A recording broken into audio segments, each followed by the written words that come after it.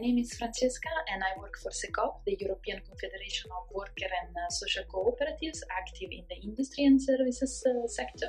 And uh, when asked what is your organization doing to promote gender equality, uh, well, cooperatives are built on equality principles.